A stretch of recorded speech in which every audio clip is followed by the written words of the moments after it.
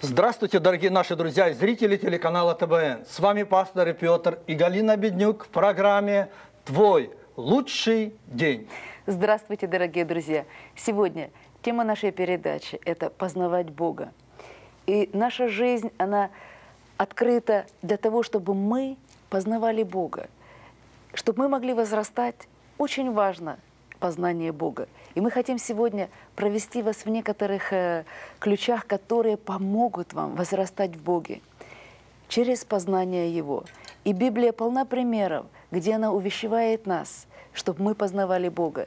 И когда в псалмах псалмопевец сказал о том, что безумец сказал в сердце своем, что нет Бога.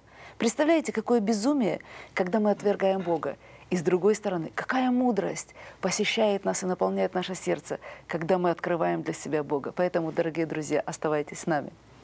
Благодать вам и мир, шалом, да умножится в познании Господа нашего Иисуса Христа. Апостол Петр желает всем нам, дорогие друзья, познание о Боге, чтобы оно умножилось у нас. Все то, что не умножается, оно убывает. Поэтому Господь заинтересован, вы заинтересованы, чтобы Божье благословение, чтобы мудрость в вашей жизни присутствовала, потому что мы все понимаем, как важна мудрость в жизни. Можно много иметь имения, но если нет мудрости, мы не сможем справиться правильно с тем, что у нас есть. Поэтому Бог является источником мудрости. И познание Бога – это благословенное занятие. Вы знаете, эта тема во все века интересовала человечество. И сегодня она актуальна и насущна. Откуда человек произошел?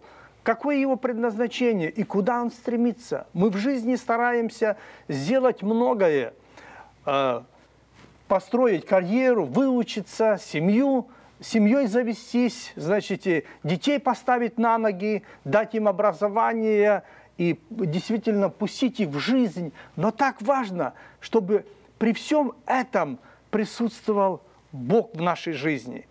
Даже в народе говорят, что без Бога не до порога. Поэтому я считаю, что неразумно отрицать существование Бога и Его богопознание. И мы сегодня будем рассматривать те шаги, которые мы можем осуществить, как познавать Бога.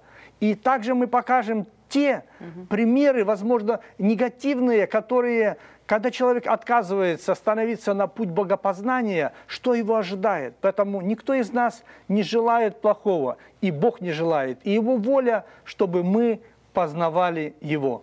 И мы раскрываем для себя